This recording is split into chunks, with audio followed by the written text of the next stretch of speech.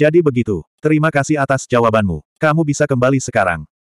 Setelah mendengar ini, Siaping ingin menyegel Theodor dan melemparkannya ke dunia klasik pegunungan dan lautan lagi. Apa? Naga tak berbentuk Theodor sangat marah hingga wajahnya berubah menjadi hijau. Dia hanyalah alat dari manusia yang tidak tahu malu ini, menggunakannya saat dia membutuhkannya dan membuangnya saat dia tidak membutuhkannya. Sungguh tercela.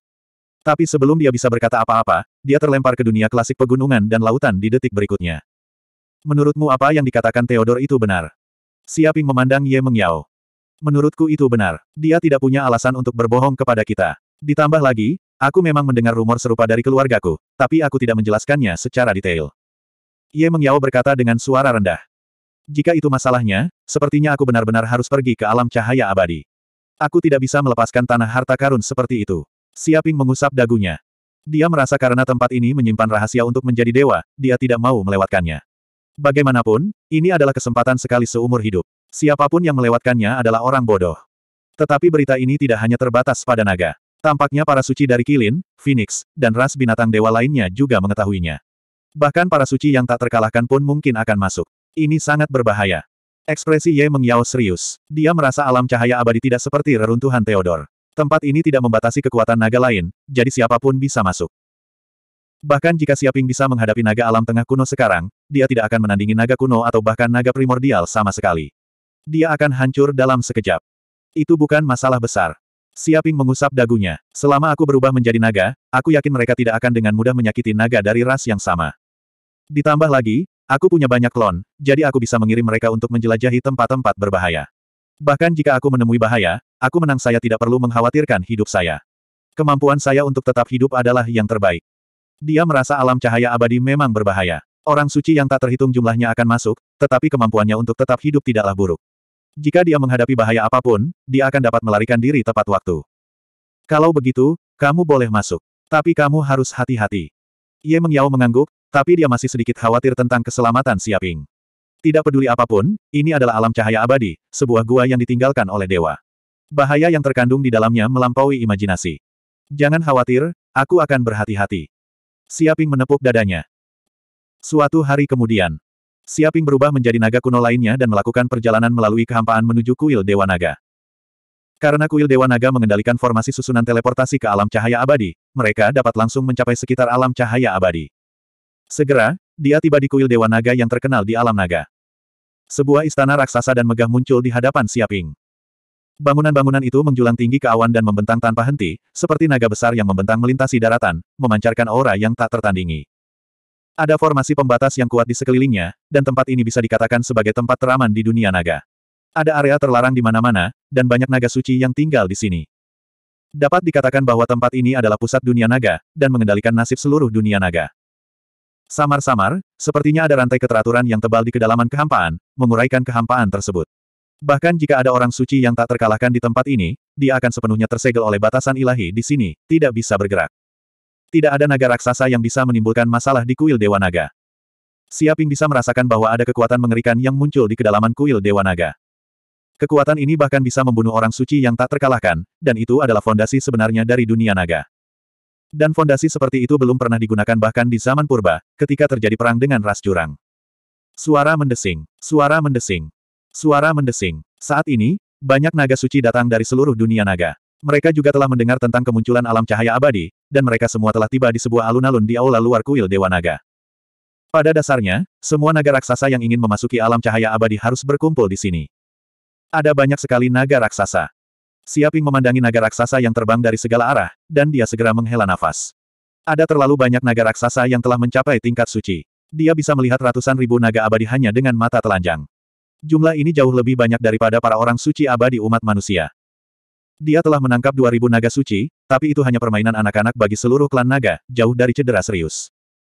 Hanya bisa dikatakan bahwa klan naga memang merupakan ras kuat yang bertahan sejak era alam semesta sebelumnya. Mereka telah hidup selama bertahun-tahun yang tak terhitung jumlahnya, dan jumlah naga abadi yang mereka hasilkan jauh lebih banyak daripada ras puncak lainnya di alam semesta ini. Namun, kekuatan tempur kelas atas yang sebenarnya dari ras tersebut tetaplah para suci yang tak terkalahkan. Orang suci yang tak terkalahkan bisa melawan sekelompok orang suci abadi, dan pada tingkat ini, kuantitas bukanlah hal yang paling penting. Oleh karena itu, untuk menentukan kuat atau tidaknya suatu ras, hal itu masih bergantung pada berapa banyak orang suci tak terkalahkan yang mereka miliki. Seperti di era nuklir di kehidupan sebelumnya, jika menyangkut perang, tidak bergantung pada berapa banyak senjata konvensional yang dimilikinya, tetapi berapa banyak bom nuklir yang disimpannya. Tentu saja, setiap orang memiliki senjata nuklir, dan jika senjata tersebut seimbang, tentu saja hal itu bergantung pada senjata konvensional. Dari sini, dapat dilihat bahwa klan naga memang salah satu yang terkuat di antara ras puncak, dan itu bukanlah sesuatu yang dapat dibandingkan dengan umat manusia saat ini. Umat manusia saat ini paling banyak bisa menjaga keseimbangan situasi di depan klan naga. Suara mendesing. Tanpa menunggu Siaping berpikir lebih jauh, dia mendarat di alun-alun. Hei, saudaraku, kamu terlihat asing. Apakah kamu seekor naga yang baru saja naik ke alam hampir kuno? Pada saat ini, naga api alam kuno melihat Siaping dan segera menyambutnya dengan antusias. Benar, aku memang baru saja naik belum lama ini. Siaping mengangguk. Jadi begitu, aku Tensi, siapa namamu? Tensi bertanya dengan rasa ingin tahu. Namaku Wu Wudi. Kata Siaping. Oh Wudi, mengapa nama ini terdengar begitu familiar? Iya, sepertinya aku pernah mendengarnya di suatu tempat. Sepertinya ada naga yang sangat arogan bernama Master Mutaito, sangat mirip dengan nama ini. Mungkinkah Tuan Mutaito ada hubungannya denganmu? Tiba-tiba, banyak naga yang berbalik. Selama kurun waktu ini, mereka pernah mendengar nama Master Mutaito. Dia jelas merupakan naga kuno, tapi dia sangat ganas dan bahkan bisa membunuh naga kuno menengah. Benar, itu kakak laki-lakiku, tapi aku sudah lama tidak bertemu dengannya. Siaping berkata dengan santai. Jadi begitu, pantas saja namanya mirip sekali, jadi satu keluarga. Saya turut berbela sungkawa, kakak laki-laki Anda terjebak di reruntuhan naga tak kasat mata Theodore, dan dia masih belum keluar. Tensi memandang Siaping dengan ekspresi menyedihkan. Tidak apa-apa, naga baik tidak berumur panjang, naga jahat hidup ratusan juta tahun, embrio jahat itu tidak akan mati begitu saja. Tentu saja, jika dia meninggal, itu juga bisa bermanfaat bagi masyarakat. Siaping melambaikan tangannya. Naga di sekitarnya memasang ekspresi aneh. Tampaknya hubungan kedua bersaudara ini tidak terlalu baik. 2492. Suara mendesing. Suara mendesing. Suara mendesing. Seiring berjalannya waktu, semakin banyak naga suci muncul di alun-alun kuil Dewa Naga. Bahkan ada naga purba, naga purba, dan naga purba. Biasanya, naga-naga ini akan tidur di sarangnya dan tidak akan mudah keluar. Namun kini setelah berita dari alam cahaya abadi benar-benar membuat khawatir para naga suci ini, mereka bahkan tidak repot-repot tidur dan terbangun satu demi satu. Naga purba berdiri di tengah alun-alun, memancarkan aura yang tak tertandingi. Meskipun mereka tidak mengeluarkan kekuatan apa pun, mereka masih memiliki kehadiran yang luar biasa. Seseorang dapat merasakan perubahan waktu yang mengalir dari mereka, seolah-olah mereka telah hidup sejak awal mula alam semesta. Kekuatan mereka sungguh tak terduga. Setidaknya ada seribu naga purba seperti mereka. Hampir naga purba seperti Siaping hanyalah udang kecil di alun-alun. Mereka hanya bisa berdiri di pinggir alun-alun dan tidak berhak memasuki tengah. Klan naga benar-benar kuat. Siaping menghela nafas melihat kemunculan naga-naga ini. Seperti yang diharapkan dari sebuah ras yang bertahan sejak era alam semesta sebelumnya. Hanya naga suci ini saja sudah cukup untuk menyaingi ras puncak. Terlebih lagi, mereka masih memiliki berbagai macam kartu truf yang belum mereka gunakan. Kekuatan mereka sangat dalam. Ledakan. Pada saat itu, sebuah platform besar tiba-tiba muncul di alun-alun. Kemudian, pria tua berjubah mewah dengan tanduk naga di kepala mereka dalam wujud manusia muncul. Masing-masing dari mereka memancarkan aura yang kuat, dan bahkan naga purba yang berdiri di depan tidak bisa menahan diri untuk tidak menundukkan kepalanya untuk menunjukkan rasa hormat.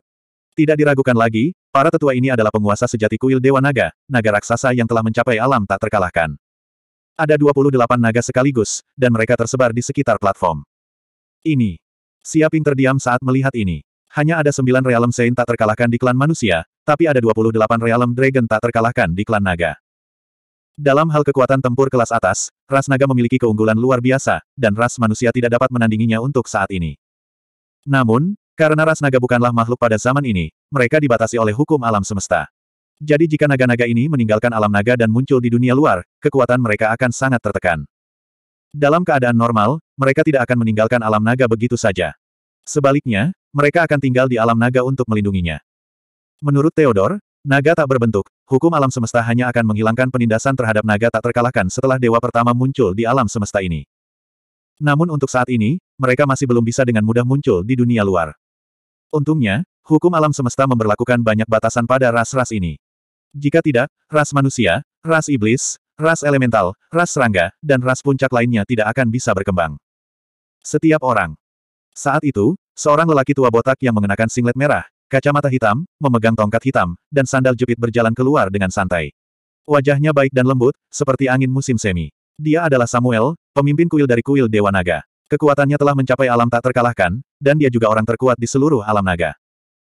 Kelihatannya biasa saja, namun ketika menjelma menjadi manusia, ia tampak seperti seorang lelaki tua malang yang tetap memiliki niat jahat meski sudah tua. Namun, tak satu pun naga raksasa yang hadir berani meremehkan penguasa kuil-kuil Dewa Naga. Dia adalah naga terkuat yang pernah hidup sejak era alam semesta sebelumnya. Umurnya lebih panjang dari semua naga yang ada. Dia telah menyaksikan kehancuran dan kelahiran alam semesta, dan dia juga pernah mengabdi pada naga leluhur. Dia bahkan mungkin berperang melawan para dewa di era para dewa. Bahkan selama perang abis di era primordial, api perang melanda alam semesta, dan dia disergap oleh puluhan raja abis, namun dia tetap tidak bisa dibunuh. Ia juga dikenal sebagai naga raksasa dengan peluang tertinggi menjadi dewa naga pertama di era ras naga ini. Ia juga dianggap oleh semua ras di alam semesta sebagai yang paling dekat dengan para dewa. Setiap naga raksasa yang hidup di alam naga pernah mendengar tentang legenda penguasa kuil-kuil Dewa Naga, Samuel. Bisa dikatakan sebagian besar naga raksasa tumbuh dengan mendengarkan cerita Samuel. Dulu ketika ilmuwan naga Titania mengamuk di alam semesta dan melakukan segala jenis kejahatan, Samuel, penguasa kuil-kuil Dewa Naga, yang secara pribadi bergabung dengan orang bijak tak terkalahkan lainnya untuk menghancurkan jimat naga langit abadi. Titania dikejar ke seluruh alam semesta dan hampir mati. Ini adalah legenda hidup. Alam cahaya abadi telah muncul. Ini adalah dunia yang terbentuk setelah jatuhnya para dewa. Ada rahasia besar di dalamnya, dan mungkin menyembunyikan peluang untuk menjadi dewa. Namun, ini juga sangat berbahaya, dan setiap langkah adalah penuh dengan bahaya. Bahkan naga yang tak terkalahkan pun mungkin tidak akan mampu bertahan di dalam. Samuel, kepala kuil dari kuil Dewa Naga, berkata, oleh karena itu, naga di bawah level naga abadi tidak boleh masuk. Kamu setidaknya harus berada di dekat level naga abadi dan memahami hukum ruang untuk bertahan hidup di cahaya abadi dunia. Apa? Mendengar ini, banyak naga abadi yang meratap. Mereka bahkan tidak bisa memasuki peninggalan para dewa yang begitu penting. Namun, ini adalah keputusan kuil Dewa Naga, dan itu juga merupakan perintah dari pemimpin kuil-kuil Dewa Naga, Samuel. Mereka harus patuh. Siapa pun yang berani melanggar perintah akan langsung dijebloskan ke penjara dan dipenjarakan hingga akhir zaman. Jika serius, mereka mungkin akan dieksekusi. Beberapa naga abadi ke atas mengangguk. Mereka merasa bahwa ini adalah hal yang wajar. Itu adalah alam cahaya abadi, sebuah gua tempat tinggal yang ditinggalkan oleh para dewa. Itu penuh bahaya. Meski ada banyak harta dan peluang, bahayanya juga sangat fatal. Bahkan naga abadi pun merasa itu sangat berbahaya. Jika naga abadi masuk, itu berarti bunuh diri. Bagaimana mereka bisa memperoleh peluang? Tentu saja mereka tidak akan membiarkan perilaku bunuh diri seperti itu. Jika tidak, generasi baru dunia naga akan tamat. Suara mendesing. Suara mendesing. Suara mendesing. Segera, naga abadi ini meninggalkan alun-alun kuil Dewa Naga. Mereka tidak punya harapan untuk memasuki alam cahaya abadi. Tiba-tiba, seluruh alun-alun sepertinya telah kehilangan separuh naganya. Faktanya, bahkan di antara klan naga, semakin tinggi budidaya naga abadi, semakin langka jumlahnya. Yah, itulah aturan umumnya. Samuel, kepala kuil-kuil Dewa Naga, berkata, setelah memasuki alam cahaya abadi, ingatlah untuk berhati-hati. Kamu bisa membentuk tim kecil atau bertarung sendirian. Tidak apa-apa selama kamu memiliki kepercayaan diri untuk bertahan hidup. Terlebih lagi, kali ini, bukan hanya klan naga kita yang memasuki alam cahaya abadi. Ada juga anak nakal dari klan lain. Anda harus berhati-hati dan jangan sampai gagal total. Setelah mengatakan ini, dia dengan lembut menyodok tanah dengan tongkatnya. Tiba-tiba, susunan teleportasi superspasial yang sangat besar muncul di alun-alun kuil Dewa Naga. Ledakan. Dalam sekejap mata, semua naga abadi yang hadir, termasuk Siaping, merasakan kekosongan terdistorsi. Waktu dan ruang berubah, dan semua naga abadi di alun-alun dipindahkan ke kehampaan lain. 2493. Ledakan. Detik berikutnya, sebagian besar naga suci di alam naga diangkut ke suatu tempat kosong. Tidak ada akhir yang terlihat, seolah-olah mereka berada dalam ruang waktu yang kosong. Mereka tidak tahu di mana tempat ini berada. Sebuah bola besar muncul di depan mereka. Itu seperti matahari, dan semua naga terasa sangat kecil di depan bola ini. Namun, bola ini bukanlah matahari, dan tidak dapat memancarkan panas abadi. Itu adalah dunia super, dan bersinar dengan cahaya lembut. Seolah-olah dunia ini adalah satu-satunya sumber cahaya di kehampaan, menerangi langit gelap berbintang. Dunia ini terletak di kedalaman kehampaan, dan sepertinya ada banyak sekali hukum ruang waktu yang beroperasi jauh di dalam. Rantai tebal dari jalan besar melilit dunia ini, seolah-olah dunia ini diukir dengan matriks dan rune larangan ilahi yang padat. Semua naga dapat merasakan bahwa dunia ini mengandung aura yang tak terduga. Seolah-olah ada kekuatan di atas hukum alam semesta, dan tidak sesuai dengan hukum alam semesta pada zaman ini. Terlebih lagi, Kekuatan hukum alam semesta di sekitarnya sepertinya secara samar-samar menolak dunia ini. Jika bukan karena fakta bahwa dunia ini terlalu kokoh, dunia ini sudah lama hancur berkeping-keping oleh kekuatan besar asal mula alam semesta. Menakjubkan. Siaping menyipitkan matanya. Faktanya, dia bisa melihat lebih banyak dari yang lain. Ini bukanlah dunia yang sederhana. Itu pada dasarnya adalah versi mini dari alam semesta, dan tampaknya ada banyak bintang besar yang lahir jauh di dalamnya. Bintang-bintang ini secara otomatis beroperasi di kedalaman alam semesta menurut pola yang unik. Bintang-bintang yang tak terhitung jumlahnya digabungkan untuk membentuk matriks super, dan ketika ia runtuh, ia memiliki kekuatan untuk menghancurkan langit dan bumi. Dia merasa bahwa bidang ini mungkin lebih menakutkan dari yang dia bayangkan. Alam cahaya abadi. Ini seharusnya adalah alam cahaya abadi.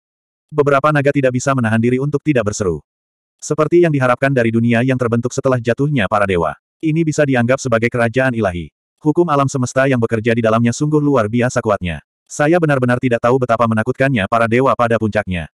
Beberapa naga purba memandang alam cahaya abadi dengan perasaan tergila-gila. Mereka dapat merasakan bahwa hukum alam semesta yang berlaku di dunia ini sangatlah misterius. Mereka seperti bagian-bagian mesin yang presisi, dan tidak ada satu pun yang hilang. Mereka membentuk siklus yang sempurna. Tempat ini memang sangat berbahaya. Meski kita belum masuk, melihat situasi di pinggiran saja sudah cukup untuk membuktikan bahwa dunia ini tidak biasa. Beberapa naga purba memiliki ekspresi serius di wajah mereka. Mereka sangat yakin dengan kekuatan mereka sendiri dan percaya bahwa mereka benar-benar memiliki kemampuan untuk kembali dari alam cahaya abadi hidup-hidup. Namun, setelah melihat alam cahaya abadi, mau tak mau mereka menjadi berhati-hati. Tidak ada keraguan bahwa ini adalah dunia dewa yang melampaui imajinasi mereka. Sial, ras lain juga ada di sini. Ekspresi beberapa naga kuno berubah. Mereka merasakan perubahan cepat di ruang sekitarnya. Waktu dan ruang mulai terdistorsi. Bang bang bang. Dalam sekejap, formasi teleportasi besar muncul di kehampaan di kejauhan. Jelas sekali, meskipun naga sangat cepat, ras lain juga tidak lambat. Mereka hanya beberapa menit di belakang para naga dan juga telah sampai di tempat ini. Seolah-olah begitu kaki depan mereka tiba, kaki belakang balapan ini pun ikut menyusul. Kecelakaan gelombang-gelombang-gelombang. Segera, sekelompok tokoh kuat muncul dari formasi teleportasi ini. Dengan kilatan cahaya, sosok-sosok ini menampakkan penampilan aslinya. Burung dewa raksasa berdiri di udara, tubuh mereka terbakar oleh nyala api. Mereka seperti matahari berjalan, dan setiap bulunya terkondensasi dari api. Tanda misterius muncul di bulunya, yang sepertinya mengandung kekuatan hukum alam semesta. Jika salah satu dari bulu-bulu ini jatuh, mereka akan mampu membakar seluruh area. Burung dewa ini tidak diragukan lagi adalah burung phoenix, makhluk perkasa yang bisa mengendalikan api. Tubuh mereka memancarkan jejak aura suci yang tak terduga. Jauh di dalam tubuh mereka mengalir aura keabadian, seolah-olah bahkan setelah kematian, mereka bisa terlahir kembali dari kedalaman api. Perlombaan kilin juga ada di sini. Para naga melihat bahwa yang berdiri di samping burung phoenix adalah sekelompok kilin yang kuat. Dilihat dari penampilan luarnya, mereka memiliki kepala singa, tanduk rusa, mata harimau, tubuh rusa, sisik naga, dan ekor lembu. Ekornya berbulu seperti ekor naga, dengan sudut berdaging. Tubuh kilin ini agak mirip rusa kesturi. Kilin berumur panjang. Bahkan kilin paling biasa pun bisa hidup selama dua juta tahun. Mereka bisa menyemburkan api, dan suara mereka seperti guntur. Kekuatan mereka sama sekali tidak kalah dengan naga. Bukan hanya perlombaan kilin, perlombaan kui juga ada di sini. Ada kilatan cahaya lain, dan para naga menemukan bahwa ras tirani lain telah dipindahkan ke tempat ini. Kui yang kuat muncul di tempat ini. Bentuknya seperti lembu, dan seluruh tubuhnya berwarna abu-abu. Mereka tidak mempunyai tanduk dan hanya mempunyai satu kaki. Setiap kali mereka muncul, akan terjadi badai yang dahsyat. Tubuh mereka bersinar dengan cahaya seperti sinar matahari dan cahaya bulan, dan auman mereka memekakkan telinga seperti guntur. Di masa lalu, manusia memperoleh beberapa mayat kui dan menggunakan kulitnya untuk membuat drum. Mereka juga menggunakan tulang binatang petir sebagai stick drum. Saat mereka menabuh genderang, suara genderang terdengar ratusan juta mil jauhnya, mengintimidasi tentara musuh dan menguasai dunia. Ras Kui juga merupakan ras tirani yang telah menguasai hukum petir secara ekstrim. Konon Dewa Raskui adalah dewa petir yang mengendalikan kekuatan Guntur di dunia. Ke mana pun dia pergi, Guntur bergemuruh, dan dia tak terkalahkan. Us. Selain ras-ras ini, ras binatang dewa kuat lainnya yang telah menerima berita tersebut juga dengan cepat mengirim orang suci mereka ke tempat ini. Jelas sekali, mereka juga sangat menginginkan harta karun alam cahaya abadi. Jika ada yang bisa mendapatkannya, itu akan memberikan manfaat besar bagi berbagai ras. Mereka bahkan seperti ras naga, ras tirani yang bertahan dari era alam semesta sebelumnya hingga saat ini. Mereka juga merupakan makhluk hidup yang jarang muncul di alam semesta. Begitu banyak ras binatang dewa. Ye Mengyao juga menggunakan kekuatan klasik pegunungan dan lautan untuk merasakan situasi di dunia luar setiap saat. Dapat dikatakan bahwa dia telah memperluas wawasannya. Ras binatang suci yang tidak akan pernah muncul di alam semesta pada hari-hari biasa sebenarnya muncul pada saat ini. Jika binatang suci ini muncul di alam semesta, itu pasti akan membuat khawatir banyak ras puncak. Kekuatan ini juga cukup untuk dengan mudah membalikkan keadaan seluruh alam semesta. Memang ada banyak binatang dewa. Alangkah baiknya jika saya bisa menangkap mereka dan memenjarakan mereka di klasik pegunungan dan lautan. Ketika Siaping melihat binatang dewa ini muncul, matanya berbinar. Dia diliputi emosi dan bahkan mulai ngiler. Sejujurnya, Classic of Mountains and Seas miliknya saat ini masih kurang sesuai dengan namanya. Meskipun dia telah menangkap banyak naga raksasa untuk dikembangbiakkan, spesiesnya masih terlalu tunggal. Dibandingkan dengan pegunungan dan lautan klasik yang sebenarnya, jumlah dan spesies makhluk terlalu sedikit. Jika dia juga bisa menangkap beberapa binatang suci ini, itu pasti luar biasa. Ini. Ye Mengyao terdiam. Dia juga merasakan pikiran Siaping dan tidak tahu harus berkata apa.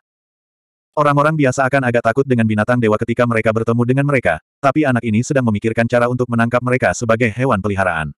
Apa pendapatnya tentang binatang dewa? 2494 Pada saat ini, ras lain juga menemukan bahwa ras naga juga telah tiba di sekitar alam cahaya abadi. Ekspresi mereka semua berubah. Sial, kenapa cacing berkaki empat ini begitu cepat? Itu baru sekian lama, tapi sudah muncul dengan kekuatan penuh. Seolah-olah mereka belum pernah mendapatkan harta apa pun seumur hidup mereka. Hehe, siapa yang tidak tahu kalau cacing berkaki empat ini tidak punya kemampuan sama sekali? Mereka lari saat menghadapi bahaya, tapi kalau soal merebut harta, mereka jamin jadi yang pertama menyerang. Semesta. Tidak hanya itu, tapi mereka juga sangat pelit. Masing-masing dari mereka adalah orang yang kikir. Setelah mendapatkan harta karun, mereka akan menaruhnya di sarangnya dan tidak melakukan apa pun selain menonton. Hal yang paling tercela adalah para bajingan ini masih pamer, seolah-olah mereka takut orang lain tidak tahu bahwa mereka kaya. Mereka bertingkah seperti orang baru, dan mereka tidak dapat mengubah kepribadian ini tidak peduli berapa banyak orang. Tahun telah berlalu. Singkatnya, jika ras naga muncul di sini, itu pasti bukan hal yang baik. Banyak Divine Beast yang mengertakkan gigi. Mereka tidak memiliki kesan yang baik terhadap perlombaan naga. Meskipun mereka semua adalah makhluk yang selamat dari era alam semesta sebelumnya, hubungan mereka tidak baik. Jika ada kesempatan, mereka semua pasti ingin membuat pihak lain menderita kerugian besar. Faktanya, sebelum era alam semesta sebelumnya dihancurkan, mereka adalah salah satu ras teratas. Untuk memperebutkan wilayah, entah sudah berapa kali mereka saling membunuh. Hal ini terutama terjadi pada ras naga dan ras Phoenix. Perjuangan hegemoni ras naga dan ras Phoenix terkenal di era sebelumnya, dan perang ras yang begitu tragis telah berlangsung entah berapa era.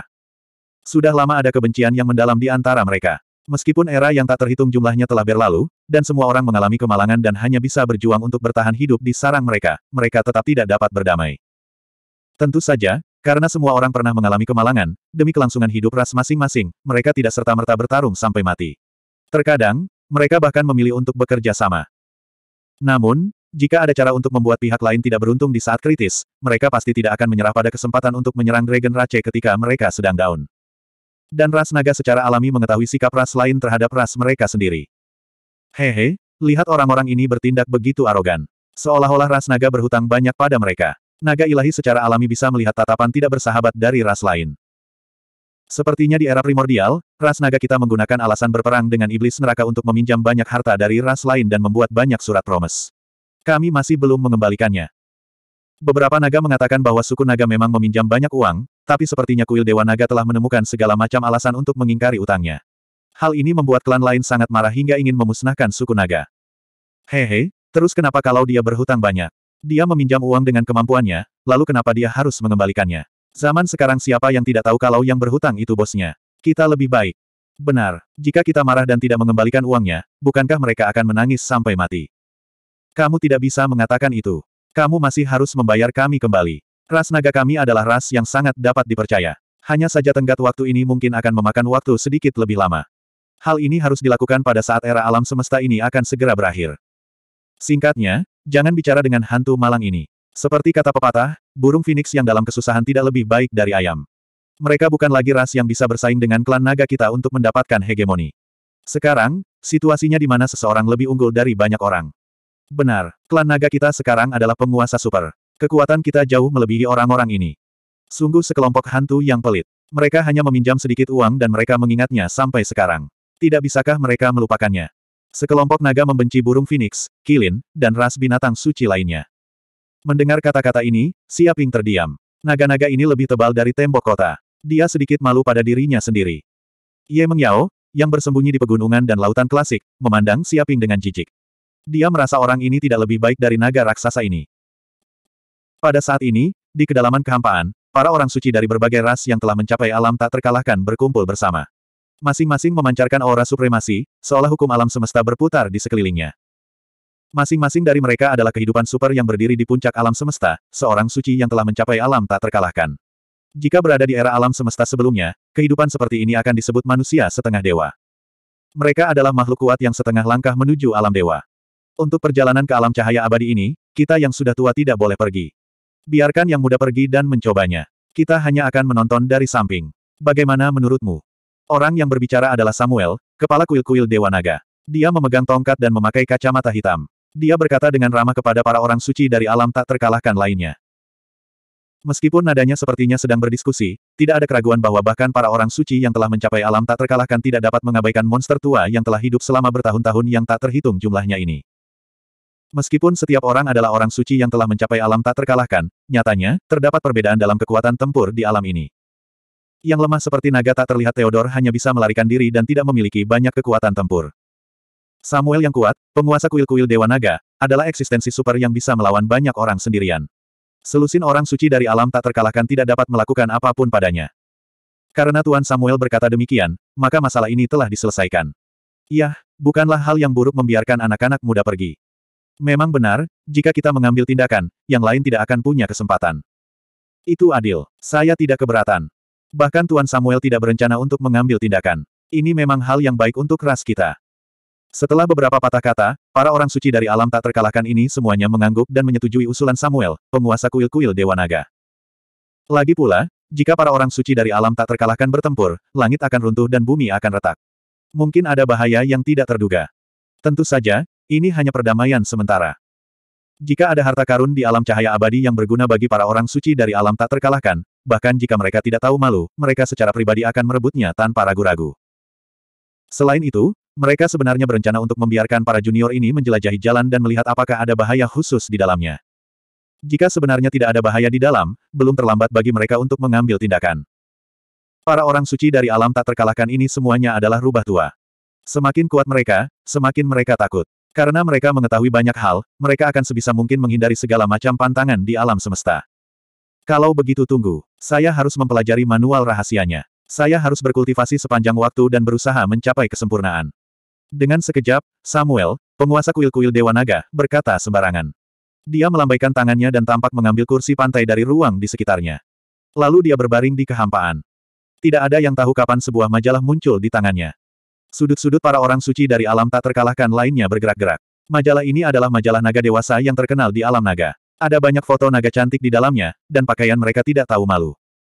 Mereka terdiam. Apakah membaca majalah semacam ini adalah budidaya? Sekelompok tetua kuil Dewa Naga tersipu. Mereka memalingkan wajah mereka satu demi satu, menunjukkan bahwa mereka tidak mengenal penguasa kuil-kuil Dewa Naga. 2495 Pada saat ini, semua naga suci dan sage dari ras lain telah menerima perintah bahwa sage alam tak terkalahkan tidak akan berpartisipasi dalam perjalanan ke alam cahaya abadi ini. Orang bijak lainnya bebas masuk dan bersaing untuk mendapatkan harta karun. Jika dia bisa mendapatkan harta apa pun di dalamnya, maka harta itu akan menjadi miliknya. Suara mendesing, suara mendesing, suara mendesing.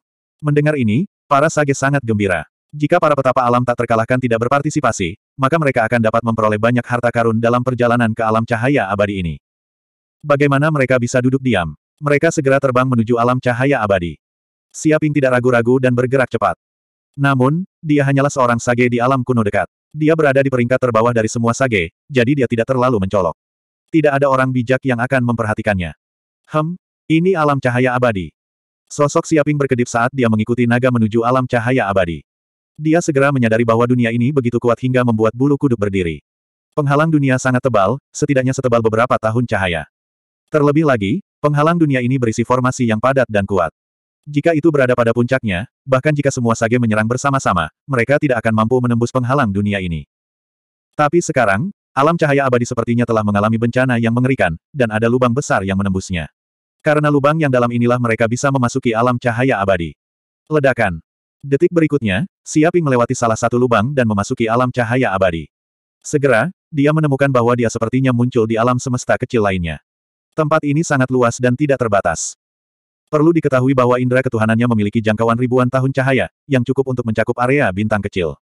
Namun di alam cahaya abadi, itu hanyalah puncak gunung es.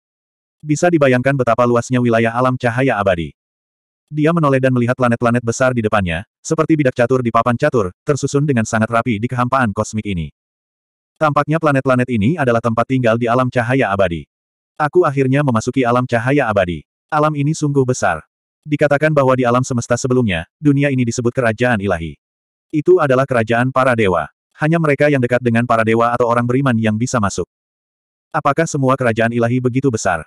Tidak, belum tentu demikian. Beberapa kerajaan dewa berukuran sangat kecil, mungkin hanya berukuran beberapa ribu tahun cahaya. Namun pesawat cahaya abadi ini luar biasa besarnya. Meski lebih kecil dari pesawat naga, namun tetap saja luar biasa. Bisa dibayangkan bahwa bahkan di zaman para dewa, dewa yang memiliki alam cahaya abadi adalah dewa yang cukup kuat. Tetapi apa sebenarnya yang terjadi dengan planet-planet ini? Planet-planet itu pada dasarnya adalah planet pembawa kehidupan yang diciptakan oleh para dewa, khusus untuk tempat tinggal orang percaya yang tak terhitung jumlahnya. Setiap planet adalah tempat yang cocok untuk ditinggali.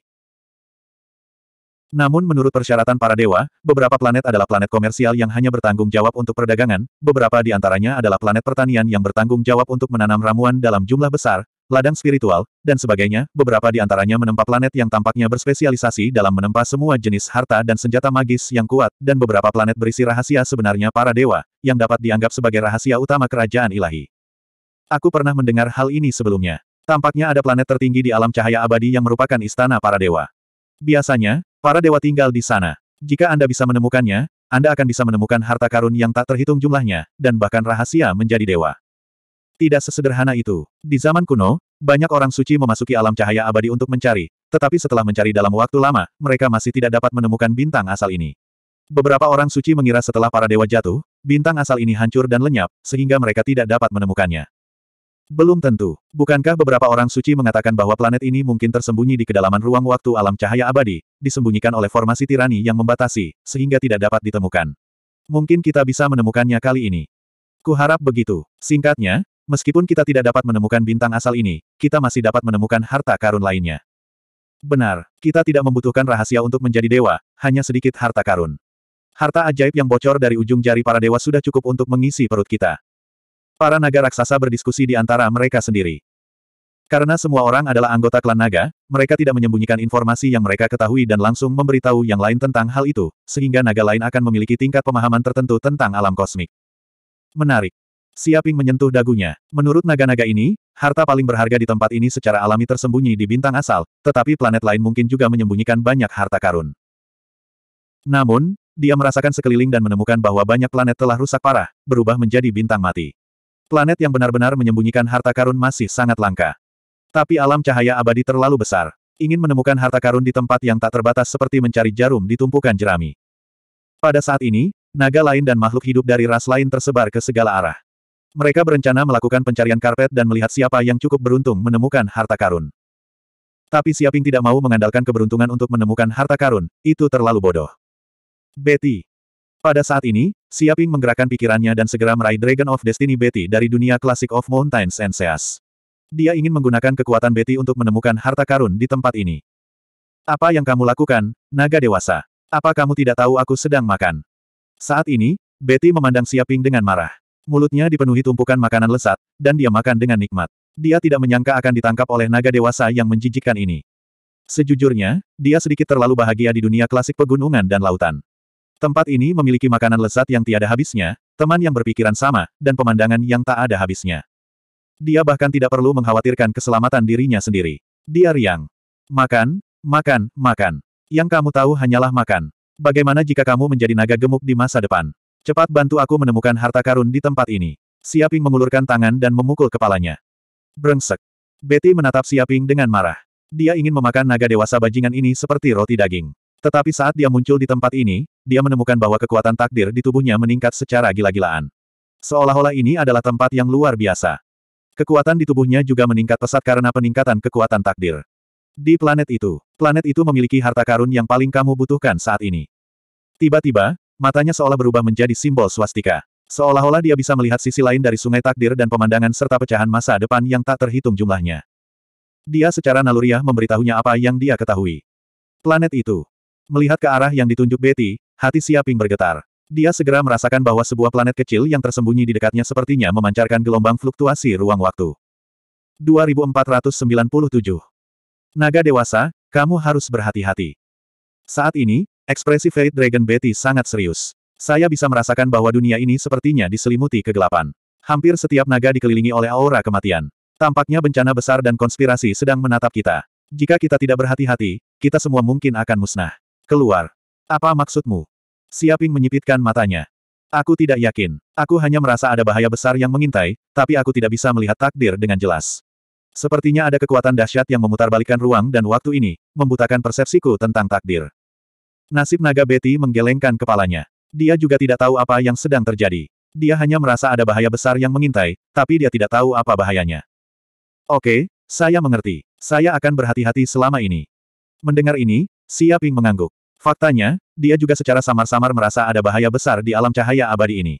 Mungkin dia tidak sejelas Fate Dragon Betty, tapi dia masih memiliki firasat buruk. Namun, dia terampil dan berani, dan kemampuannya untuk tetap hidup sangat kuat. Oleh karena itu, meskipun dia tahu bahwa tempat ini penuh bahaya, dia tetap mengikutinya.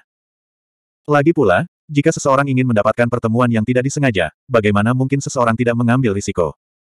Suara mendesing. Setelah mengatakan ini, dia segera melepaskan Fate Dragon Betty kembali ke dunia klasik of Mountains and Seas. Lagi pula, tempat ini terlalu berbahaya bagi naga muda. Jika terjadi kecelakaan, dengan kekuatannya, dia mungkin tidak bisa melindunginya. Apakah ini tempatnya? Sosok Siaping berkedip-kedip saat dia melewati kehampaan. Dalam beberapa napas, dia tiba di tempat yang ditunjukkan oleh Fate Dragon Betty. Dia segera datang ke sebuah planet besar. Sayangnya, planet ini sepertinya sedang dalam keadaan sunyi. Ada keheningan yang mematikan di mana-mana, seolah-olah telah diubah oleh kekuatan penghancur yang besar. Semua makhluk hidup di planet ini telah mati, tanpa terkecuali. Bahkan bangunan di planet ini telah hancur. Mungkin karena berlalunya waktu, bahkan bangunan-bangunan ini tidak dapat menahan korosi waktu, dan lambat laun terkikis. Dia berjalan di planet ini dan merasakan kehancuran yang luar biasa, seolah-olah itu terjadi setelah akhir dunia. Oh, apa ini?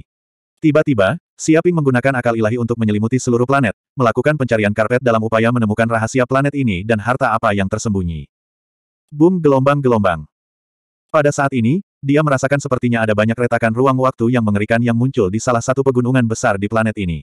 Setiap retakan meluas hingga ribuan kilometer, dan dari waktu ke waktu, badai ruang waktu yang mengerikan akan melewatinya. Bahkan para sage kuno mungkin tidak mampu menahan kekuatan seperti itu. Terlebih lagi, sepertinya ada bunga unik yang tumbuh di kedalaman celah spasial tersebut. Itu seukuran telapak tangan, dan tembus cahaya. Tampaknya berisi lingkaran tanda daur ruang waktu, dan memancarkan aura yang tak terduga. Tuan, ini bunga ruang waktu. Sapi biru itu juga mengikuti Divine Sense Siaping dan segera melihat bunga unik yang tersembunyi di kedalaman ruang waktu. Itu adalah roh artefak Siaping. Keduanya telah lama mencapai ranah, satu dengan artefak, menyatukan jiwa mereka.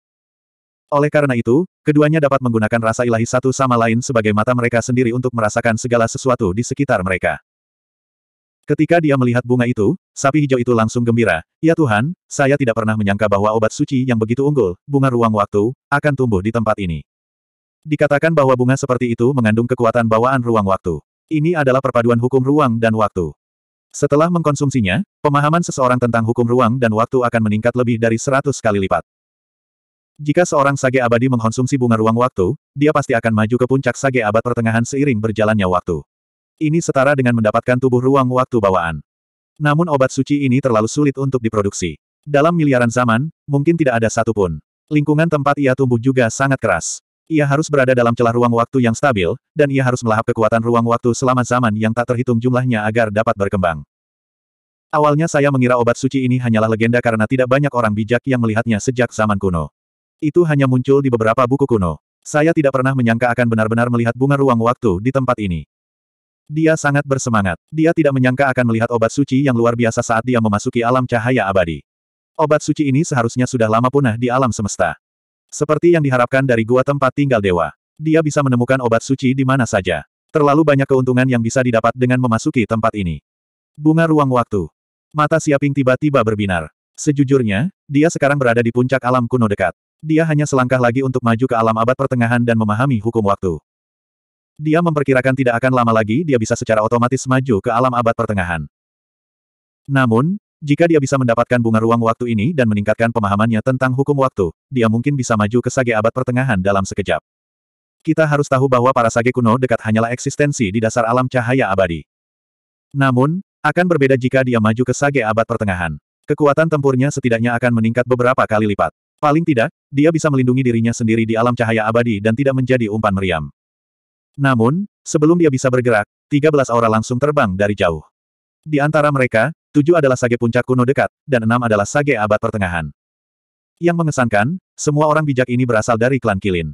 Masing-masing dari mereka memancarkan aura ruang waktu tirani seolah-olah mereka telah menekan ruang waktu ini. Haha, keberuntungan kita terlalu bagus. Bunga ruang waktu, inilah bunga ruang waktu yang terkenal. Konon setelah mengkonsumsinya, pemahaman seseorang tentang hukum ruang dan waktu akan meningkat. Ini juga sangat bermanfaat bagi para orang bijak abad pertengahan. Bukankah begitu? Jika Anda ingin maju ke alam petapa kuno, Anda harus mengintegrasikan hukum ruang dan waktu dan menaikkannya ke kondisi puncaknya. Hanya dengan begitu Anda dapat benar-benar memahami hukum penciptaan dan maju ke alam kuno yang abadi. Tidak diragukan lagi, ini adalah kesempatan bagi kita untuk mencapai Dao. Memang merupakan keputusan yang tepat untuk datang ke alam cahaya abadi. Kita baru saja tiba di sini dan kita telah memperoleh hadiah yang begitu besar. Kelompok orang bijak klan Kilin tertawa terbahak-bahak. Mereka sangat gembira saat mereka melihat bunga ruang waktu di celah ruang waktu dengan rakus. Mereka merasa seolah-olah tiba-tiba mendapatkan jackpot sebesar satu miliar dolar. Tunggu sebentar, sepertinya ada juga seseorang dari klan naga di sini. Apalagi orang itu yang ingin datang ke sini. Pada saat ini, kilin alam tengah kuno segera menoleh dan menyadari keberadaan Siaping. Astaga, astaga. Dalam sekejap, lebih dari sepuluh orang bijak klan kilin menoleh dan memandang Siaping yang lemah dan kesepian dengan mengejek. 2498. Seperti yang kuduga, ada cacing berkaki empat di sini. Kilin kuno pertengahan tertawa keras. Sepertinya kita benar-benar beruntung. Kita tidak hanya mendapatkan bunga ruang dan waktu, tapi kita juga bisa melihat seekor naga. Tidak ada yang lebih baik dari ini. Saya sangat terkejut saat pertama kali melihatnya. Saya pikir kami sangat tidak beruntung telah bertemu dengan naga purba. Saya tidak menyangka itu adalah naga hampir purba. Langit benar-benar ada di pihak kami. Bukankah begitu? Seekor naga dekat kuno berada di dasar alam abadi. Beraninya dia bepergian sendirian dengan kekuatan seperti itu. Dia benar-benar tidak takut mati. Ketika Kilin ini melihat Siaping dan merasakan kekuatannya, mereka semua tertawa gembira. Bagaimanapun, mereka memiliki 13 sage, enam di antaranya berada di alam kuno tengah, dan tujuh di antaranya berada di puncak alam kuno dekat. Mereka mungkin bisa menghajar orang ini dengan mata tertutup. Ini akan menjadi mudah. Menghadapi orang yang begitu lemah, bisa dibayangkan betapa bersemangat dan bangganya mereka. Cacing berkaki empat, kemari sekarang juga. Seorang kilin kuno pertengahan berteriak dengan angkuh, jika aku selangkah lebih lambat, aku akan mematahkan kakimu. Beraninya kamu bepergian sendirian tanpa kekuatan apa pun. Kamu pasti telah memakan hati beruang dan empedu macan tutul. Anda benar-benar beruntung bertemu kami hari ini. Meskipun tidak ada permusuhan di antara kami, kamu adalah seekor naga.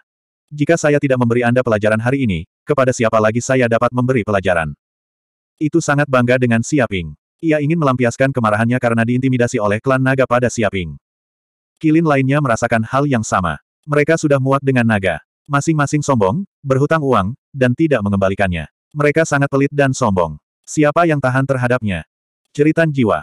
Siaping bahkan tidak melihat mereka. Dia segera menggunakan Infernal Golden Crowther G miliknya. Ledakan. Dalam sekejap, dengan tubuhnya sebagai pusatnya, gelombang fluktuasi jiwa yang menakutkan muncul. Mereka langsung menyebar ke seluruh planet, secara diam-diam merembes ke setiap ruang dan waktu. Dong, dong, dong. Segera, selusin kilin, Apakah mereka berada di alam kuno dekat atau alam kuno pertengahan, tercengang seolah-olah mereka disambar petir. Seolah-olah seseorang telah memukul kepalanya, dan ingatannya menjadi kosong. Sebelumnya, ketika Siaping mengamuk di neraka, satu Soul Shriek sudah cukup untuk memusnahkan 200 ribu monster kosong. Bagaimana para sage kilin ini bisa bertahan? Terlebih lagi, dia telah menekan kekuatan Soul Shriek miliknya. Dia hanya ingin membuat pingsan para kirin ini. Jika dia menggunakan kekuatan penuhnya, semua kirin ini akan mati. Kecelakaan gelombang-gelombang. Sementara Kilin dalam keadaan linglung, Siaping membuat gerakan meraih dan menggunakan teknik penyegelan enam daus untuk langsung menangkap semua Kilin dan membawanya ke dunia kitab suci gunung dan laut.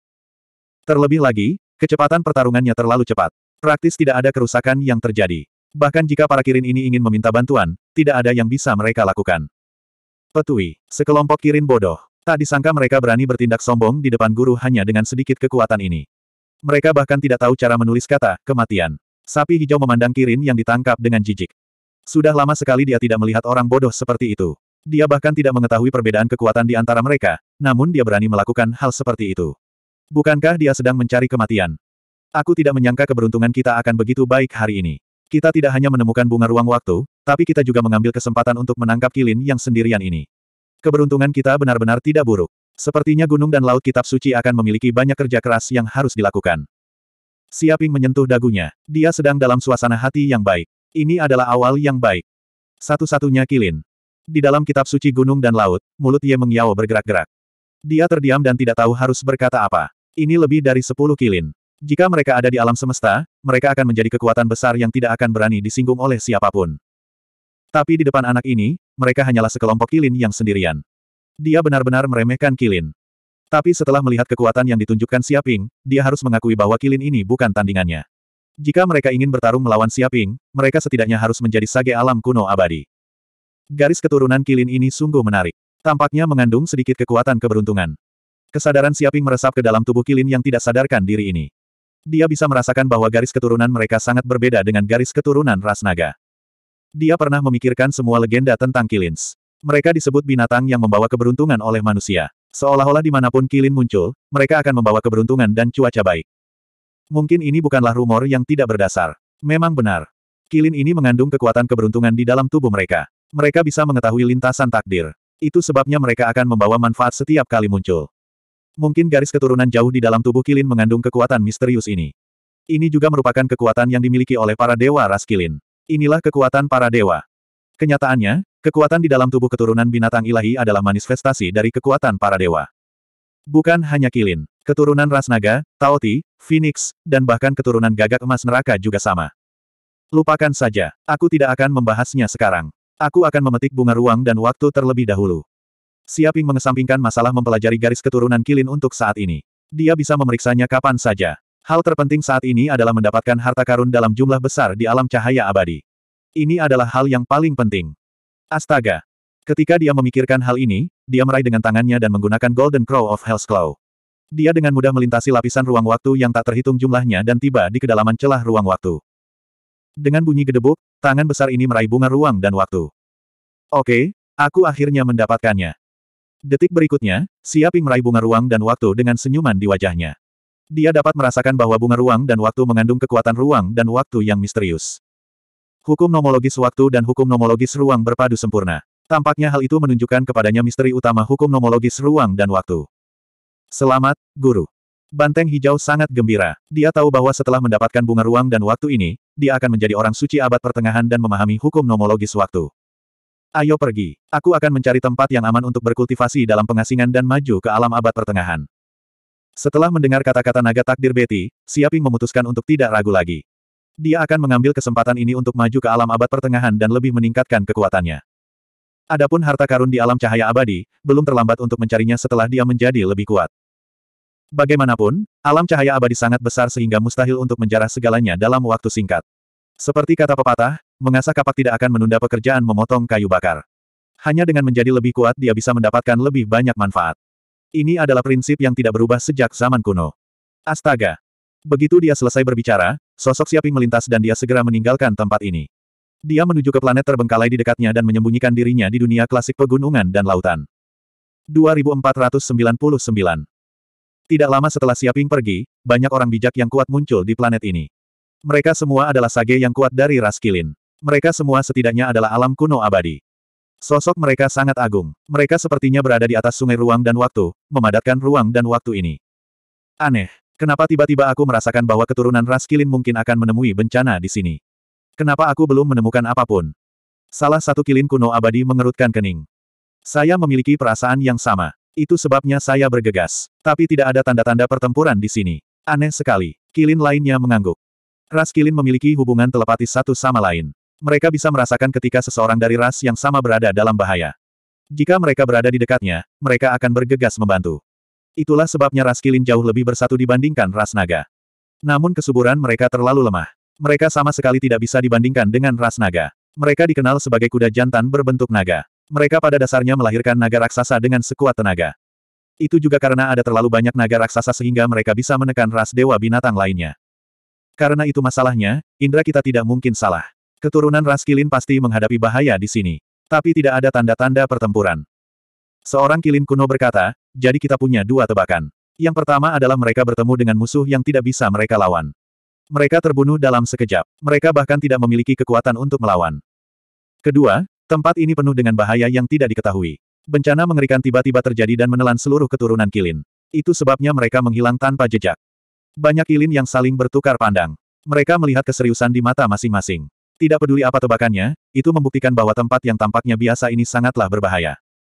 Ayo pergi. Karena kita berada di alam cahaya abadi, kita harus berhati-hati. Bagaimanapun juga, ini adalah negeri para dewa. Wajar jika ada bahaya yang terjadi. Bahkan para sage yang tak terkalahkan pun tidak berani mengatakannya. Dapat bertahan hidup. Karena mereka menghilang, kita tidak bisa tiba di sana tepat waktu.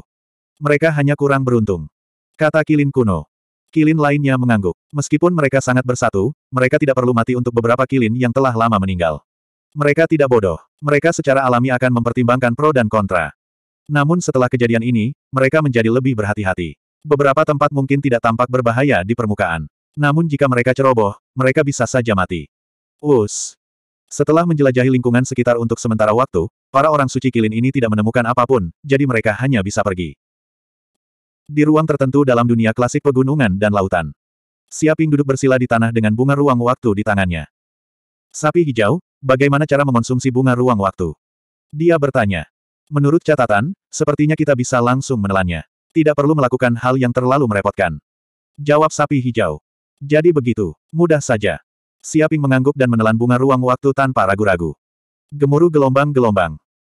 Setelah Siaping menelan bunga ruang waktu, energi bunga ruang waktu ini segera meletus di tubuhnya, mengeluarkan pecahan besar hukum ruang dan waktu, menyatu dengan setiap sudut tubuhnya. Ini. Siaping merasakan kekuatan sihir di dalam tubuhnya meroket, dan fragmen hukum luar angkasa yang tak terhitung jumlahnya dengan cepat berkumpul, membentuk total 3000 fragmen besar hukum luar angkasa. Kecelakaan gelombang-gelombang. Fragmen hukum luar angkasa yang tak terhitung jumlahnya berkumpul di kedalaman lautan kesadarannya, dan kekuatan sihir yang sangat besar juga meningkat dengan cepat. Pada akhirnya, hukum ruang di tubuhnya disempurnakan secara mengesankan. Sebanyak 3000 fragmen hukum ruang angkasa berkumpul, dan secara mengesankan terkondensasi menjadi kristal hukum ruang angkasa heksagonal, memancarkan energi spasial yang kaya di sekelilingnya. Kristal hukum luar angkasa menyatakan bahwa hukum luar angkasa Siaping telah sepenuhnya disempurnakan. Pada saat ini, tubuhnya juga telah mengalami perubahan yang mengejutkan. Setiap sel ditutupi oleh energi spasial dalam jumlah besar, dan setiap sel dikristalisasi dan diruangkan. Seolah-olah tubuh Siaping saat ini terkondensasi dari badan spasial yang tak terhitung jumlahnya. Kekuatan sihir di tubuhnya juga tumbuh tanpa henti, dan itu sangat besar sehingga menakutkan. Tanpa diragukan lagi, dia sekarang telah benar-benar terkondensasi menjadi tubuh spasial, dan semua kekuatan ruang telah terkondensasi menjadi satu. Dia menemukan bahwa jiwa, tubuh, dan kekuatan sihirnya semuanya telah mengikis karakteristik ruang, dan seolah-olah dia dapat menyatu dengan kehampaan kapan saja dan menjadi tidak terlihat. Setiap kali dia melakukan perjalanan melalui kehampaan, hal itu tidak akan menyebabkan fluktuasi kehampaan. Perasaan ini. Siaping menemukan bahwa setelah tubuhnya benar-benar teruang, kecepatannya meningkat berkali-kali lipat. Dengan sedikit gerakan, seolah-olah dia telah berubah menjadi seberkas cahaya, dan setiap sel di tubuhnya telah berubah menjadi partikel cahaya. Luar angkasa adalah kecepatan. Ketika kecepatannya mencapai kecepatan cahaya, hal itu dapat mengganggu waktu, menyebabkan waktu di sekitarnya melambat dan mengganggu aliran waktu. Samar-samar dia bisa merasakan keberadaan kekuatan waktu dan hukum waktu. Seolah-olah dia saat ini hanya selangkah lagi dari alam kuno tengah. Terobosan. Pada saat ini, ketika hukum ruang di tubuhnya telah sepenuhnya disempurnakan, Siaping tidak ragu-ragu untuk memanfaatkan kilasan inspirasi ini. Ini adalah kesempatan sekali seumur hidup untuk segera menerobos hukum waktu dan melangkah ke alam kuno pertengahan. Sebelumnya, dia telah melahap beberapa buah waktu, dan dia memiliki banyak pengalaman dalam memahami hukum waktu. Padahal, sebelumnya, dia sudah beberapa kali merasakan dimensi waktu. Karena sedikit pemahaman ini, serta fragmen hukum waktu yang ditinggalkan di tubuhnya oleh buah waktu, sepasang mata gagak emas neraka milik Siaping sepertinya melihat menembus kehampaan, dan dia merasakan keberadaan dimensi. Waktu. Dong. Kekuatan jiwa di tubuhnya meledak, merobek kehampaan dan menyatu dengan asal mula alam semesta. Saat ini, tubuhnya juga mengalami perubahan yang luar biasa. Seolah-olah pada saat ini, aliran waktu tidak lagi mampu mempengaruhi tubuhnya, dan bahkan terdapat jejak kekuatan waktu yang sangat misterius di setiap sel. Kekuatan ruang dan waktu berkumpul di tubuhnya saat ini. Dengan tubuh Siaping sebagai pusatnya, aliran waktu dalam rentang seribu tahun cahaya tampaknya sedikit berbeda dari kekosongan alam semesta lain di bawah naungan domain, mendistorsi ruang waktu di sini. Meskipun ini hanya perubahan kecil, ini adalah perubahan kualitatif, seolah-olah dia telah terlahir kembali. Aku sudah maju. Aku akhirnya maju ke alam kuno tengah. Tubuh Siaping bergetar, dan matanya bersinar dengan cahaya yang menakutkan. Seolah-olah simbol jam muncul di kedalaman pupil matanya. Dia tahu bahwa pada saat ini, dia akhirnya memahami hukum waktu, memahami kekuatan waktu, dan mengambil langkah maju yang penting. Ini juga merupakan hambatan yang menjebak semua orang suci, tetapi pada saat ini, Siaping telah menerobosnya. Domain luar angkasa di tubuhnya juga mulai berubah menjadi domain ruang waktu. 2500. Ini adalah alam kuno tengah. Siaping merasakan bahwa setelah naik ke alam kuno tengah, bahkan cara dia memandang alam semesta tampak berbeda. Dia bisa merasakan hukum ruang dan waktu yang mengalir di sekelilingnya. Kekuatan dharmanya juga meningkat secara eksponensial. Itu sepuluh kali lebih kuat dari sebelumnya. Seolah-olah setiap sel di tubuhnya dipenuhi dengan kekuatan dharma yang kuat. Sejumlah besar potongan hukum waktu tersebar di sekujur tubuhnya. Beberapa buah waktu yang dia telan sebelumnya akhirnya mulai berlaku. Fragmen hukum waktu dengan cepat diaktifkan di tubuhnya dan menyatu dengan setiap sel di tubuhnya. Perasaan ketuhananku menjadi lebih kuat. Siaping juga merasakan bahwa energi jiwanya juga meningkat pesat. Jika sebelumnya indera ketuhanannya hanya mencakup rentang seribu tahun cahaya, kini telah mencapai rentang sepuluh ribu tahun cahaya. Hal ini juga menyebabkan kekuatan jiwanya menjadi sangat kejam hingga membuat bulu kuduk berdiri. Jika dia menggunakan jeritan jiwa sekarang, bahkan para sage kuno pun akan terpengaruh. Selain itu, pemahamannya tentang hukum ruang juga semakin dalam. Dia bisa berteleportasi 10.000 tahun cahaya dengan satu pikiran. Bahkan para sage kuno pun mungkin tidak dapat mengejar kecepatan seperti itu. Garis keturunan gagak emas neraka juga menjadi lebih padat. Dia juga menemukan bahwa segel pada garis keturunan gagak emas neraka miliknya telah terbuka setelah dia naik ke alam kuno tengah. Saat ini, dia telah membangunkan 300 miliar sel neraka gagak emas di tubuhnya. Dibandingkan sebelumnya, dia telah membangkitkan 100 miliar lebih sel neraka gagak emas. Saat ini, garis keturunan Golden Crow of Hell di tubuhnya sangat padat. Seolah-olah setiap tulang di tubuhnya telah terkikis menjadi warna emas gelap. Seolah-olah itu telah menjadi tulang dewa. Darah di tubuhnya sangat kuat. Setetes darah apa pun dapat membakar sebuah planet dan mengubahnya menjadi lautan api tak terbatas yang tidak akan padam bahkan setelah miliaran tahun. Namun, perubahan ini hanyalah permainan anak-anak. Perubahan yang paling penting adalah domain Siaping telah mengalami transformasi besar. Itu telah berevolusi dari domain luar angkasa sebelumnya menjadi domain ruang waktu. Ini adalah perubahan kualitatif. Domain ruang waktu. Siaping mengedarkan kekuatan di tubuhnya dan perlahan-lahan melepaskan domain ruang waktu di tubuhnya. Perlahan-lahan mencakup 10.000 tahun cahaya. Domain ini tidak hanya memuat hukum ruang, tetapi juga memuat hukum waktu. Kedua jenis hukum ini sangat berbeda, namun keduanya ada dalam harmoni yang sempurna. Dalam jangkauan domain ruang waktu ini, hukum spasial dapat memenjarakan semua penghalang spasial, dan hukum temporal dapat mengontrol aliran waktu, sehingga mempengaruhi perubahan persepsi musuh terhadap waktu. Di bawah selubung domain ruang waktu, seolah-olah bentuk embrio dunia telah menyelimuti dirinya. Tidak ada tempat baginya untuk bersembunyi. Sangat kuat. Mata Siaping bersinar dengan cahaya yang menakutkan. Dia akhirnya merasakan kekuatan tirani para sage abad pertengahan. Di bawah domain ruang waktu, manusia tidak dapat berjuang atau bergerak sama sekali. Kecuali seseorang memiliki kekuatan kasar yang sama dengannya yang dapat menembus semua domain, serta mana kuat yang tak tertandingi, mereka tidak akan bisa membebaskan diri sama sekali dan hanya bisa dengan patuh menjadi burung yang dikurung. Para orang suci di era kuno dekat sama lemahnya dengan bayi di hadapan para orang suci di era tengah. Domain ruang waktu ditekan, mengubah aliran waktu di sekitar Sage. Seolah-olah waktu telah melambat puluhan kali lipat. Ke mana lagi Sage bisa melarikan diri? Dia juga menyadari bahwa di bawah domain ruang waktu, dia dapat sepenuhnya mengontrol aliran waktu di tubuhnya. Itu bisa memperlambat aliran waktu. Seratus tahun dalam domain ruang waktu hanya berarti satu tahun di dunia luar. Itu juga bisa mempercepat aliran waktu. Setahun dalam domain ruang waktunya sama dengan seratus tahun di dunia luar. Namun, kekuatan untuk mengendalikan hukum waktu hanya dapat dilakukan dalam domain ruang waktunya sendiri. Setelah meninggalkan domain ini, ia tidak akan dapat mempengaruhi kekosongan alam semesta lain. Terlebih lagi, mengendalikan aliran waktu membutuhkan mana yang banyak. Orang bijak biasa tidak akan bisa mengendalikannya dalam waktu lama. Oleh karena itu, mereka hanya akan memiliki kekuatan seperti itu selama pertempuran sengit. Jika domain ruang waktu seseorang dapat menutupi seluruh alam semesta, bukankah itu berarti mereka dapat mempercepat atau memperlambat waktu alam semesta kapan saja? Siaping tiba-tiba memikirkan hal ini. Namun, mustahil untuk menutupi seluruh alam semesta dengan domain ruang waktu seseorang. Bahkan para dewa di era alam semesta sebelumnya tidak dapat melakukan ini. Ini di luar imajinasi semua makhluk hidup. Sepertinya mengendalikan hukum waktu tidak sesederhana mengendalikan aliran waktu. Sepertinya saya bisa melihat beberapa pemandangan dari zaman kuno. Siaping terus memahami kegunaan ajaib dari domain ruang waktu. Dia menyadari bahwa ketika dia menggunakan domain ruang waktu, seluruh ruang waktu akan menjadi domain absolutnya. Seolah-olah apa pun yang terjadi di tempat ini akan meninggalkan gambaran di kedalaman ruang waktu. Dia dapat sepenuhnya menelusuri kembali ke zaman kuno dan melihat apa yang terjadi di tempat ini di masa lalu. Luar biasa. Siaping memiliki pemahaman baru tentang betapa kuatnya para sage abad pertengahan. Jika orang bijak abad pertengahan ingin mengambil tindakan secara pribadi dan menangkap penjahat, mereka dapat sepenuhnya mengambil gambar ruang waktu yang tersisa di tempat ini. Penjahat tidak punya tempat untuk bersembunyi. Tidak banyak orang yang bisa lolos dari kejaran para sage abad pertengahan. Tunggu, jika itu masalahnya, bukankah aku akan ditemukan oleh beberapa orang bijak abad pertengahan ketika aku melakukan kejahatan di berbagai tempat? Siaping terkejut. Dia tiba-tiba teringat bahwa dia mungkin telah meninggalkan gambaran ruang waktu dirinya di suatu tempat. Hal ini mungkin ditemukan oleh orang bijak abad pertengahan dan identitas aslinya sebagai Wu Wudi. Tuan rumah, yakinlah. Saat ini, suara sistem terdengar. Dengan bantuan sistem, apa pun yang dilakukan atau dialami oleh tuan rumah tidak akan meninggalkan jejak apa pun di ruang waktu ini. Oleh karena itu, bahkan seorang sage tak terkalahkan tidak akan mampu melacak jejak tuan rumah dari ruang waktu yang jauh melalui titik ini. Jadi begitu. Mendengar ini, Siaping langsung merasa lega. Dia sekarang mengerti mengapa dia melakukan begitu banyak hal yang menggemparkan dunia. Di antara mereka, tidak ada kekurangan dari para maha kuasa di atas para sage abad pertengahan untuk memburunya. Namun meski begitu, mereka tidak bisa melacak keberadaannya. Terlepas dari kenyataan bahwa dia melakukan sesuatu secara diam-diam dan tidak meninggalkan petunjuk apa pun, bantuan sistem untuk menutupi gambaran yang dia tinggalkan dalam ruang waktu juga merupakan hal yang sangat penting. Kalau tidak, dia pasti sudah ditangkap oleh para sage marah lainnya sejak lama. Kenapa dia menunggu sampai sekarang? Tentu saja, ini bukanlah sesuatu yang dapat dilakukan oleh sistem.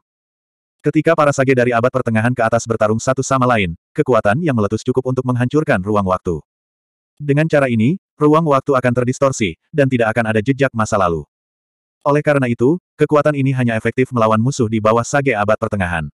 Para sage kuat lainnya juga mengetahui hal ini. Tentu saja, mereka tidak akan meninggalkan informasi tersebut dan membiarkan sage lain mengetahui rahasianya.